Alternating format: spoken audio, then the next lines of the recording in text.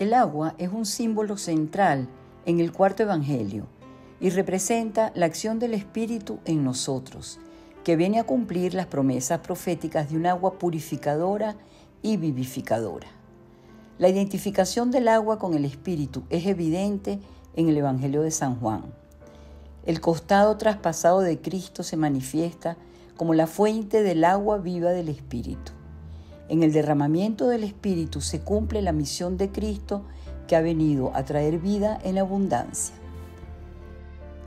El agua del Espíritu, haciendo presente en nosotros a Cristo resucitado, nos hace participar de la vida de la Trinidad.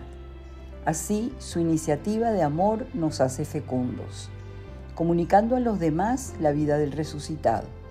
De ese modo participamos de su gloria en el Hijo de Dios, hecho carne, habita la plenitud de la gracia del Espíritu Santo, y de esa plenitud recibimos nosotros. Evidentemente, el eje unificador de todos los símbolos del Evangelio de Juan para hablar del Espíritu Santo es la vida.